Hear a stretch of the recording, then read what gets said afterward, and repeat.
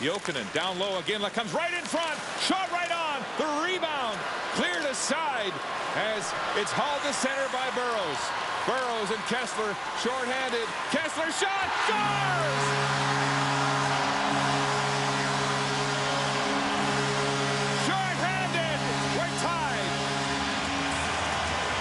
This all started 190 feet away from Miikka Kiprusoff, and it starts with the net drive of Jarome Iginla. And talk about this game going back and forth with pace and tempo. Jokinen with the nice speed launch. Iginla and Luongo square the whole time in the butterfly. And now the two-man game that the Canucks execute so well.